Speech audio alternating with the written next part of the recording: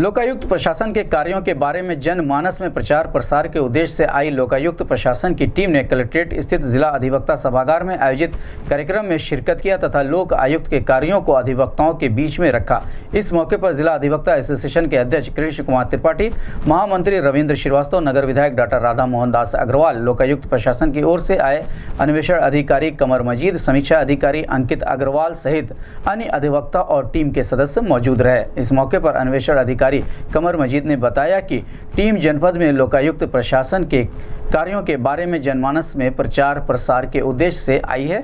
उन्होंने बताया कि लोक सेवकों के भ्रष्टाचार एवं पद के दुरुपयोग की शिकायतों का निस्तारण करना लोकायुक्त का उद्देश्य है। टीम के सहायक समीक्षा अधिकारी अंकित अग्रवाल ने लोगों को शिकायत करने की प्रक्रिया के बारे में विस्तार पूर्वक जानकारी दी। उन्होंने बताया कि लोक सेवकों के विरुद्ध दो प्रकार की शिकायतें और आयुक्त प्रशासन में की जाती है।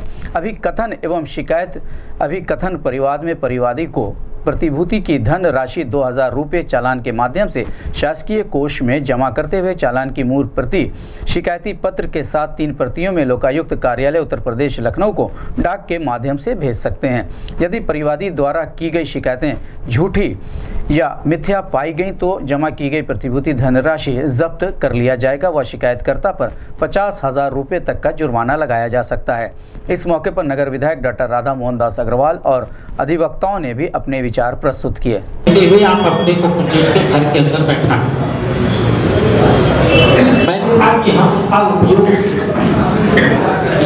जो भ्रष्टाचार होने के पहले आप उसका उपयोग कर सकते थे, बाद में तो कर ही सकते। तारीख को नोटिस दे दी और उनसे कुछ चुनंदा सवाल आपने पूछ लिए बढ़ाया तो हमारा भविष्य बढ़ा। हैं। लेकिन जागरूक बहुत किया गया। लेकिन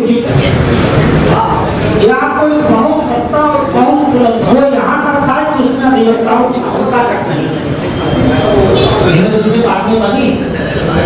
लेकिन ये सत्य भूमिका में आ रहे बहुत प्रभावी ढंग से जो लिखा जाता है उसके लिए काम कर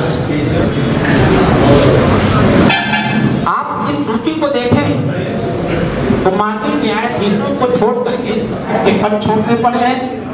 उन्हें अपने मंत्रियों के पद छोड़ने पड़े। और ये छोटी मोटी संख्या में नहीं है। करीब करीब सात आठ ऐसे विधायकों और मंत्रियों के नाम लोकायुक्त महोदय की संतुष्टि के बाद अपने पदों से हटा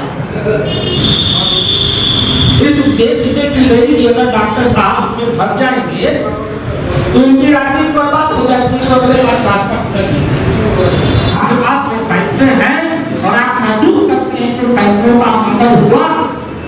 आपके पास रास्ते हैं आप उनसे कंटेक्ट कर सकते हैं, सब कुछ कर सकते हैं, लेकिन साथ आपको और भी उपलब्ध है, जो रास्ता होगा आपके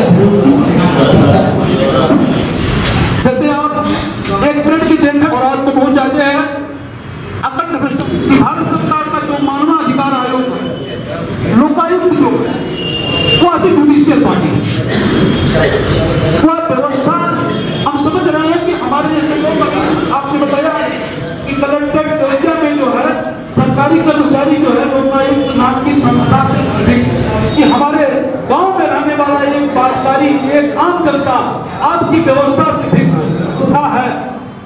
और उस व्यवस्था का पालन करके जो है, उस व्यवस्था का उपयोग करके हम भ्रष्ट अधिकारियों को दंडित करा सकते क्योंकि ये जो व्यवस्था है, आज वो हमारी ही व्यवस्था है। हमारे पूर्ववर्ती सरकारों द्वारा या वर्तमान सरकारों द्वारा हमारे ही लिए ये व्यवस्था स्थापित।